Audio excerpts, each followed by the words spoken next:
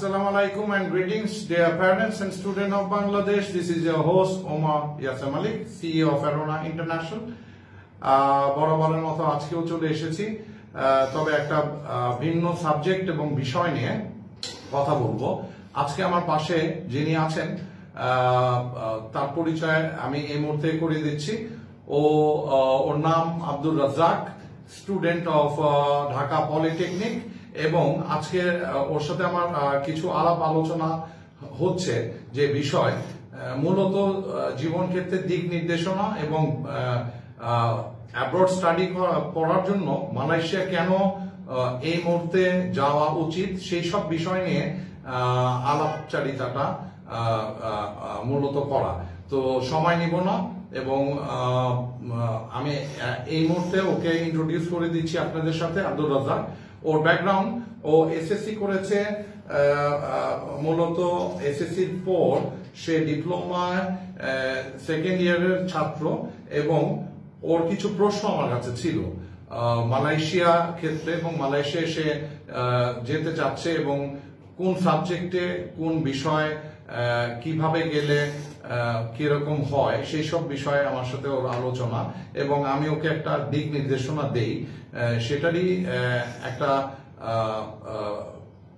In one বলব যে reaction and ways of proceedings সে তার নিজের মুখ দিয়ে আপনাদের সাথে শেয়ার করবে এবং আপনারা তার কাছ থেকে শুনুন ফার্দার রাজা কেমন আছো তুমি? ওয়ালাইকুম আসসালাম। কেমন আছো তুমি? আমি তোমার এডুকেশন ব্যাকগ্রাউন্ড দেখলাম তুমি বোলার ছিলে। এবং তুমি এসএসসি করেছ এবং এসএসসি তে তোমার রেজাল্ট আমি দেখলাম যে four point nine three probably এবং দুই হাজার আঠারোতে তুমি করেছ এবং টেকনিক্যাল বোর্ড ভোলা থেকে রাইট এবং এখন তুমি ডিপ্লোমা ঢাকা পলিটেকনিকে সিভিল ইঞ্জিনিয়ারিং পড়ছো সেকেন্ড ইয়ারে তোমার চারটা সেমিস্টার আছে এবং মোটামুটি তোমার জিপিএস স্কোর মডারেট বলা যায়। তো টু ইয়ার্স নর্মালি আরও লাগবে। এরকম অবস্থায় এই করোনা সিচুয়েশনে হঠাৎ বিদেশে যাওয়ার পরিকল্পনা মালয়েশিয়ায় কেন? আমার মালয়েশিয়া স্যারের সাথে কথা বললাম। কথা বলার পরে ভালো লাগল, মালয়েশিয়ার কিছু ইউনিভার্সিটির কথা স্যার শেয়ার করল। যেমন নিলয় হ্যাঁ কোনো এক বছর জন্য ফাউন্ডেশন করতে হবে। ফাউন্ডেশন করে তার স্টাডি শুরু করতে পারবে। আমি ফাউন্ডেশন করব আপনার সায়েন্স নিয়ে। সায়েন্স নিয়ে ফাউন্ডেশন করব। নিলয় ইউনিভার্সিটিতে এক বছরের। তারপরে আপনার মূল কোর্সে চলে যাব। হ্যাঁ তিন বছরের ইউনিভার্সিটিতে সায়েন্স সায়েন্স নিয়ে অথবা মেকানিক্যালস নিয়ে পড়ব। নাইস তার মানে তুমি বলতে চাচ্ছ যে আমার সাথে তোমার যে হলো সেখানে তোমাকে আমি মোটামুটি চারটা ইউনিভার্সিটি সম্পর্কে একটা ধারণা দিই প্রতিচ্ছবি দিই। সেটা হচ্ছে যে নীলা ইউনিভার্সিটি ভালো লেগেছে। এবং তুমি শুনেছো যে Nilai university country ranking sixty six সেটা র্যাঙ্কিং এবং নীলাই একশো আট একর এরিয়ার ভিতর কাভার করা একটি ইউনিভার্সিটি যেটা ফুললি ইনোভেটিভ এবং টোয়েন্টি ফার্স্ট সেঞ্চুরির ইউনিভার্সিটি বলা যায়। আঠাইশ হাজার ছাত্র সেখানে পড়াশোনা বর্তমানে করছে যার ভিতরে বাংলাদেশি চারশো ছাত্র অলরেডি ওইখানে আছে পড়াশোনা করছে আবার কেউ বা গ্রাজুয়েট হয়েও চলে এসেছে এবং দেশে তারা তাদের সব ধরনের যে কি বলব এক কথায় কন্ট্রিবিউশন তাদের ওয়েজ অফ নলেজ ট্রান্সফার সবকিছুই করছে। তো তুমি শুনেছ যে ফাউন্ডেশন যাওয়াটা কতটা ইজি যদি পথ জানা থাকে। আই বিলিভ তুমি সেটা বুঝতে পেরেছ। যে তোমার result four point nine three এবং ফোর পয়েন্ট নাইন থ্রিতে ফাউন্ডেশনে একজন এসএসসি করে সে যদি ফাউন্ডেশনে যায় ফাউন্ডেশন প্রোগ্রামটা দুই ধরনের হয়। একটা হলো বিজনেসে হয় আর একটা হলো ফাউন্ডেশন ইন সায়েন্সে হয়।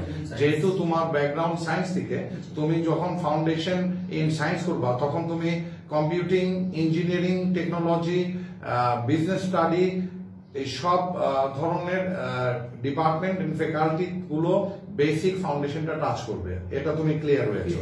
পাশাপাশি তোমার বর্তমান যে অবস্থা এই অবস্থায় তুমি চার সেমিস্টার শেষ ঠিকই করেছ বাট তুমি আমাকে যেটা শেয়ার করলা যে বাংলাদেশের বর্তমান করোনায় যে অবস্থা, যে সিচুয়েশন এবং করোনা এফেক্টটা সোশ্যাল ডিস্টেন্সিং সহ ভার্সিটিতে মেনটেন করা বা বাংলাদেশি যে কর্তৃপক্ষর দ্বারা যে বর্তমান অবস্থা, যে অনিশ্চিত একটা অবস্থায় আমরা বিরাজমান করছে এবং ছাত্র সমাজ গোটা ছাত্র সমাজে এখন চিন্তিত যে আগামীতে কি হবে। সেই সুবাদে তোমার মনে হচ্ছে যে বাংলাদেশ থেকে যদি তুমি কন্টিনিউ করো। তাহলে অ্যাকচুয়ালি আমি তোমার মুখ থেকে আমাদের অন্যান্য ছাত্র, ছাত্রী যারা আছে এবং অভিভাবকগণ যারা আছে, তাদেরকে আমি এই তথ্যটা দিতে চাই যে অ্যাকচুয়ালি এই ধরনের চিন্তাটা যে তুমি যদি অ্যানাদার দুই টু ইয়ার্স পড়ো তোমার কত বছর লাগছে অ্যাকচুয়ালি তোমার হিসাবে যদি বাংলাদেশে। বাংলাদেশে আমার ডিপ্লোমা করলে এখনও দুই বছর লাগবে।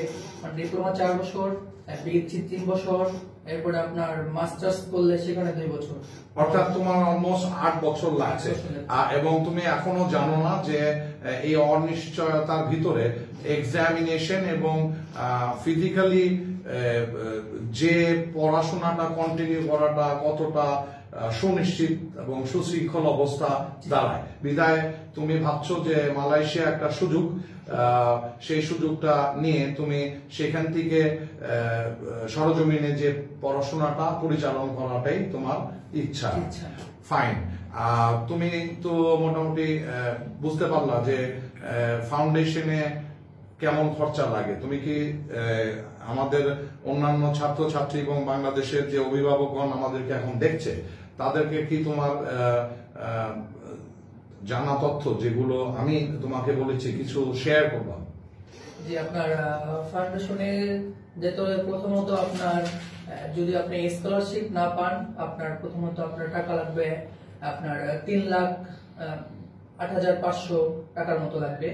এরপরে আপনি হ্যাঁ আপনার অ্যাডমিশন ভিসার জন্য লাগবে আপনার আটান্ন হাজার তিনশো টাকা, তিনশো আটাত্তর টাকার মতো। অর্থাৎ তুমি বলতে চাচ্ছ যে স্টুডেন্ট এবং অভিভাবকগণ ফাউন্ডেশনের জন্য উইদাউট স্কলারশিপ বাংলাদেশি টাকায় তিন লক্ষ আট হাজার পাঁচশো পঞ্চাশ টাকার মতো প্রয়োজন।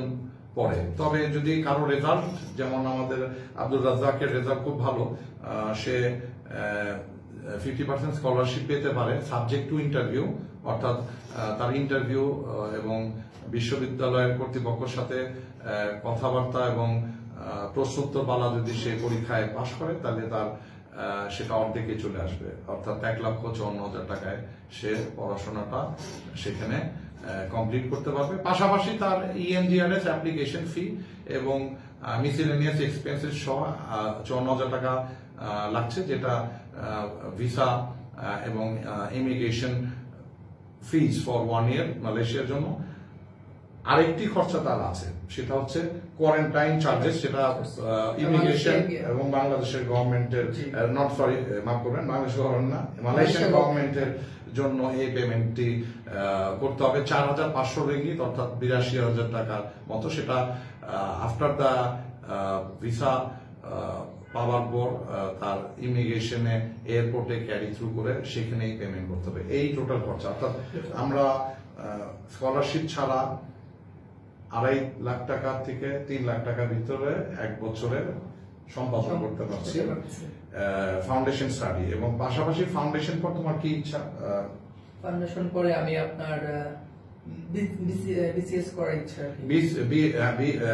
bachelors BSc in electronical engineering ট্রিপলিতে করতে যাচ্ছ অথবা মেকানিক্যাল ইঞ্জিনিয়ারিং এ করতে চাচ্ছ সেটাই ইচ্ছা পোষণ করছে এবং সেখানেও আমরা তোমাকে একটা হিসাব বলেছি যে টিউশন ফিসটা যদি স্কলারশিপ না হয় সেক্ষেত্রে এগারো লক্ষ টাকার মতো তিন বছরে চার্জ হবে এবং তোমার যদি স্কলারশিপ তুমি জিপিএ মেনটেন করতে পারো তাহলে এটা সাড়ে ছয় সাত লাখ টাকার ভিতরে করা সম্ভব এক বছরে খরচ দিতে হবে ক্রমশই তিন বছর এটা তিন ভাবে দেওয়া যাবে। ইউ আর ভেরি কারেক্ট এবং তুমি এটাও শুনেছো যে একটা ছাত্র বা ছাত্রীর আবাসন থাকা খাওয়া সবকিছু মিলিয়ে ওইখানে বারো হাজার টাকায় থাকা সম্ভব। তবে আমার প্রশ্ন তোমার কাছে বাংলাদেশে কত লাগে তোমার ঢাকায়?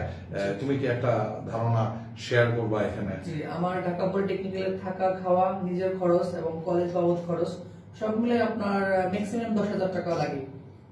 ফাইন তো তার মানে তোমার কথা এবং স্টেটমেন্ট অনুযায়ী যে মালয়েশিয়ায় অর্থনৈতিকভাবে সহায়ক এবং বাংলাদেশের খরচে মালয়েশিয়ায় থাকা খাওয়া জীবন চালানো যায় মান উন্নত এবং সেখানে চাকরিও করা যাবে।